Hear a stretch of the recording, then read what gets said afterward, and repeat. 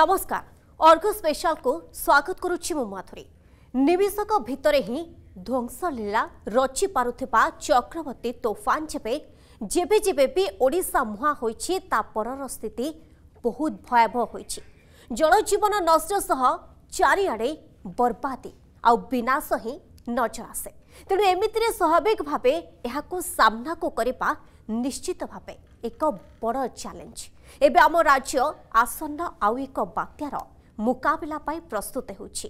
ପାଣିପାଗ ବିଭାଗର ପୂର୍ବାନୁମାନ ଅନୁସାରେ ଆସନ୍ତାକାଲି ବଙ୍ଗୋପସାଗରରେ ସୃଷ୍ଟ ଲଘୁଚାପ ଯାହା ଏବେ ଗଭୀର ଅବପାତ ରୂପରେ ଅଛି ତାହା ବାତ୍ୟାକୁ ରୂପାନ୍ତରିତ ହେବ। ତେବେ କେଉଁଠି ବାତ୍ୟା ସ୍ଥଳଭାଗକୁ ହିଟ୍ କରିବ? ହିଟ୍ କରିବା ବେଳେ ପବନର ବେଗ କେତେ ରହିବ? ଏସବୁ ପ୍ରଶ୍ନକୁ ନେଇକି ତ କଥା ହେବା। କିନ୍ତୁ ଆଜିର ପ୍ରମୁଖ ଫୋକସ୍ ରହିବ ସାଇକ୍ଲୋନ୍ର ଭିନ୍ନ ଭିନ୍ନ ଦିଗକୁ ନେଇ। ଯେମିତିକି ବାତ୍ୟା ଆସେ କାହିଁକି?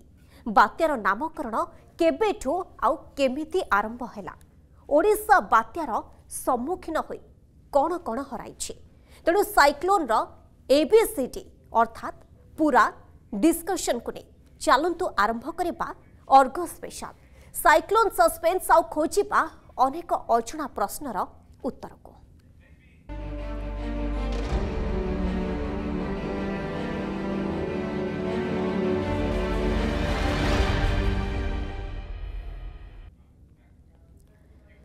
ବାତ୍ୟା ସୃଷ୍ଟି କିପରି ନିମ୍ନ ବାୟୁମଣ୍ଡଳୀୟ ଚାପ ଥିବା ଅଞ୍ଚଳରେ ଏକ ସୁଦୃଢ଼ କେନ୍ଦ୍ରବିନ୍ଦୁ ଚାରିପଟେ ଘୂର୍ଣ୍ଣାୟମାନ ଅବସ୍ଥାରେ ରହିଥାଏ ବୃହତ୍କାର ବାୟୁ ସମ୍ଭାର ପ୍ରାୟ ଆଠଶହରୁ ଷୋହଳଶହ କିଲୋମିଟର ବ୍ୟାସ ବିଶିଷ୍ଟ ଗୋଲେଇ ପରିମିତ ଏହା ଏକ ଘୂର୍ଣ୍ଣାଦ୍ରୟମାନ ଶକ୍ତି ଯାହାକି ନିଜ ମଧ୍ୟରେ ବାୟୁ ଚାପକୁ କମ୍ ରଖିଥାଏ ତେଣୁ ସ୍ୱାଭାବିକ ଭାବେ ଏହାର ଚାରିପାଖରେ ସ୍ୱତଃସ୍ଫୂର୍ତ୍ତ ଭାବରେ বায়ুচাপ অহেতুক ভাবে বৃদ্ধি পাই পৃথিবী পৃষ্ঠরে তাপমাত্রা জনিত অসামানতা কারণর বায়ুচাপরে তারতম্য সৃষ্টি হয়ে থাকে যা বাত্যা সৃষ্টি হবার মূল কারণ এতে উচ্চ চাপ বিশিষ্ট চতুর্পার্শ্ব অঞ্চলর নিম্ন চাপ বিশিষ্ট কেন্দ্রাঞ্চলক পবন বেগরে পবন রয়ে বাত্যা অথবা মহাবাত্যা ତେବେ ବାତ୍ୟା ଏବଂ ମହାବାତ୍ୟା ପାଇଁ ଅନ୍ୟାନ୍ୟ ଦେଶଗୁଡ଼ିକରେ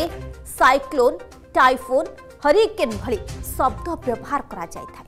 ଦେଖିବାକୁ ଗଲେ ଏ ଶବ୍ଦର ଅର୍ଥ ଅଳ୍ପେ ବହୁତ ସମୟ କେବଳ ଆଞ୍ଚଳିକ ଓ ଭୌଗୋଳିକ ତଥା ଦାନା ବାନ୍ଧୁଥିବା ମହାସାଗରର ପ୍ରଭେଦକୁ ନେଇ। ଏଗୁଡ଼ିକର ନାମ ଭିନ୍ନ ଭିନ୍ନ ହୋଇଥାଏ। ଆଣ୍ଟଲାଣ୍ଟିକ ମହାସାଗରରେ ସୃଷ୍ଟି ଝଡ଼କୁ ହରିକେନ୍ ନାମରେ ନାମକରଣ କରାଯାଇଥିବା ବେଳେ ପ୍ରଶାନ୍ତ ମହାସାଗରୀୟ ଜଳରାଶିରେ ଝଡ଼କୁ ଟାଇଫୋନ୍ ଓ ଭାରତ ମହାସାଗରୀୟ ଜଳରାଶିରେ ସୃଷ୍ଟି ବାତ୍ୟାକୁ ସାଇକ୍ଲୋନ୍ କୁହାଯାଇଥାଏ ବାତ୍ୟାର ନାମକରଣ ଯଦି ଦେଖିବା ତେବେ ପ୍ରଥମ ନାମକରଣ ଆଟଲାଣ୍ଟିକ୍ ମହାସାଗରରେ ବିଂଶ ଶତାବ୍ଦୀ ମଧ୍ୟଭାଗରେ ସୃଷ୍ଟି ହୋଇଥିବା ବାତ୍ୟା ଆଣ୍ଟେଠାରୁ ଆରମ୍ଭ ହୋଇଥିଲା ଅନ୍ୟପକ୍ଷରେ କାରବିଆନ୍ ଦ୍ୱୀପ ସମୂହରେ ଅଧିବାସୀ ରୋମାନ୍ କ୍ୟାଥୋଲିକ୍ କ୍ୟାଲେଣ୍ଡର ନାମ ଅନୁଯାୟୀ ବାତ୍ୟାର ନାମକରଣ କରିବା ଆରମ୍ଭ କରିଥିଲେ। ପ୍ରାରମ୍ଭିକ ପର୍ଯ୍ୟାୟରେ ସ୍ଥାନ ବିଶେଷ ସାମଗ୍ରୀ ମୁନିଋଷି ଅଥବା ମହାପୁରୁଷଙ୍କ କଳ୍ପବିଧିକୁ ନେଇ ବାତ୍ୟାର ନାମକରଣ କରାଯାଇଥିଲା।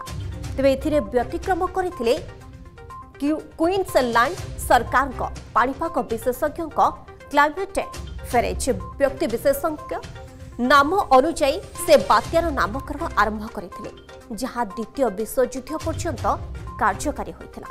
ଏହାପରେ ବାତ୍ୟାର ନାମକରଣକୁ ନେଇ ପୁନଶ୍ଚ ନୂତନ ଧାରା ଆରମ୍ଭ ହେଲା। ଉଣେଇଶହ ତେପନ ମସିହାରେ ଆମେରିକୀୟ ପାଣିପାଗ ବିଭାଗ ପକ୍ଷରୁ କେବଳ ଇଂରାଜୀ ଅକ୍ଷର ଏ ଠାରୁ ଡବ୍ଲ୍ୟୁରେ ଆରମ୍ଭ ହୋଇଥିବା ମହିଳାଙ୍କ ନାମ ଅନୁସାରେ ବାତ୍ୟାର ନାମକରଣ ଆରମ୍ଭ କରାଗଲା। ତେବେ ପରବର୍ତ୍ତୀ ସମୟରେ ଅନ୍ତର୍ଜାତୀୟ ମହିଳା ସଂଗଠନ ତରଫରୁ ଏହାକୁ ପ୍ରବଳ ବିରୋଧ ଯୋଗୁଁ ଏହି ଧାରା ବାଦ୍ ପଡ଼ିଥିଲା।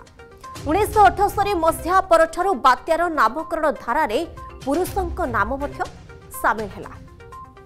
ତେବେ ସାମ୍ପ୍ରତିକ ସମୟରେ ଏ ପ୍ରକ୍ରିୟା କିଛି ଦେଶକୁ ନେଇ ଗଠିତ ଗୋଷ୍ଠୀ ଦ୍ୱାରା ପ୍ରସ୍ତାବିତ ନାମକୁ ନେଇ କରାଯାଇଛି। ଉତ୍ତର ଆଟଲାଣ୍ଟିକ୍ ଓ ପୂର୍ବ ପ୍ରଶାନ୍ତ ମହାସାଗରୀୟ ଅଞ୍ଚଳ ପାଇଁ ଆମେରିକାନ୍ ନ୍ୟାସନାଲ୍ ହରିକେନ୍ ସେଣ୍ଟର କେନ୍ଦ୍ରୀୟ ପ୍ରଶାନ୍ତ ମହାସାଗରୀୟ ଅଞ୍ଚଳ ପାଇଁ American central Pacific hurricane centre ପଶ୍ଚିମ ପ୍ରଶାନ୍ତ ମହାସାଗର ଅଞ୍ଚଳ ପାଇଁ ଜାପାନ ମେଟ୍ରୋଲୋଜିକାଲ ଏଜେନ୍ସି ଉତ୍ତର ଭାରତ ମହାସାଗର ଅଞ୍ଚଳ ପାଇଁ ଭାରତୀୟ ପାଣିପାଗ କେନ୍ଦ୍ର ନାମକରଣର ଦାୟିତ୍ୱ ଗ୍ରହଣ କରିଛନ୍ତି ଏହାକୁ ଡବ୍ଲ୍ୟୁଏମ୍ଓ ୱାର୍ଲଡ ମେଟ୍ରୋଲୋଜିକାଲ ଅର୍ଗାନାଇଜେସନ ବୋଲି ମଧ୍ୟ କୁହାଯାଏ ଦୁଇହଜାର ମସିହା ପରଠାରୁ ଭାରତ ମହାସାଗରୀୟ ଅଞ୍ଚଳରେ ନାମକରଣ ପ୍ରକ୍ରିୟା ଆରମ୍ଭ ହୋଇଛି। ଡବ୍ଲ୍ୟୁଏମ୍ଓ ଅଧୀନରେ ବର୍ତ୍ତମାନ ତେରଟି ଦେଶ ଅଛନ୍ତି। ଭାରତ ସମେତ ବାଂଲାଦେଶ ଇରାନ ମାଲଦ୍ୱୀପ Myanmar Oman Pakistan Qatar Saudi Arab Sri Lanka Thailand UAE Oman ଡବ୍ଲ୍ୟୁଏମ୍ଓରେ ସାମିଲ। ପ୍ରଥମେ ଭାରତ ମହାସାଗର କ୍ଷେତ୍ରରେ ଆଠଟି ଦେଶ ଏହି ନାମକରଣ ପ୍ରକ୍ରିୟାରେ ସାମିଲ ହୋଇଥିଲେ। ଦେଶଗୁଡ଼ିକ ହେଲା ଭାରତ ବାଂଲାଦେଶ ମାଲଦ୍ୱୀପ ଓମାନ ପାକିସ୍ତାନ ମିଆଁମାର ଥାଇଲାଣ୍ଡ ଓ ଶ୍ରୀଲଙ୍କା। ଦୁଇହଜାର ଅଠର ମସିହାରେ Iran Qatar Saudi Arab UAE Yemen ମଧ୍ୟ ଏହି ନାମକରଣ ପ୍ରକ୍ରିୟାରେ ସାମିଲ ହୋଇଥିଲେ।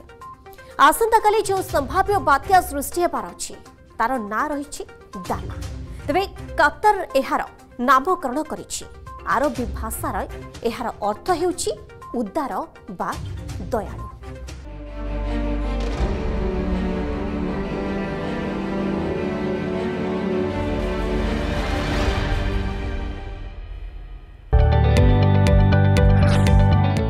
जदि आपंक आम भिडी भल लगा तेब आम चेल्क को लाइक सेयार और सब्सक्राइब करने को जमा भी भूलु नहीं।